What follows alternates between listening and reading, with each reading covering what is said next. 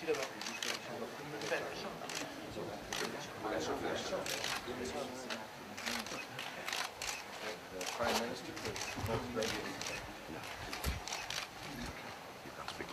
was advised that it's the close to the 50th anniversary of independence. that Al Qaeda or other extremist groups could gain a foothold in this region? I think that each of those three countries have are managing their affairs, their internal affairs, in a way that makes that a, a, a extremely low possibility.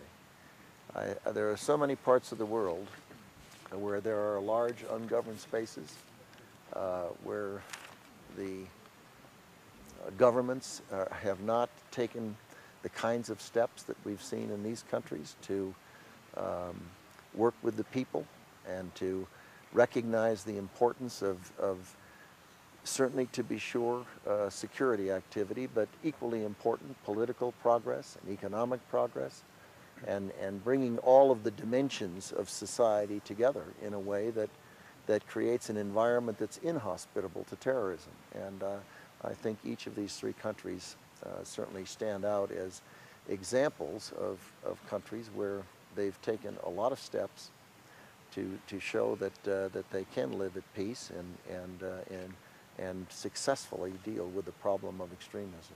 Mr. Secretary, how do, you, how do you respond to critics who say that Oh, that is a beautiful book. That's, this, that's a piece that is Uh, that's wonderful. That's a treasure. Thank you. Thank you so very much. Welcome, welcome, Mrs. Thank you.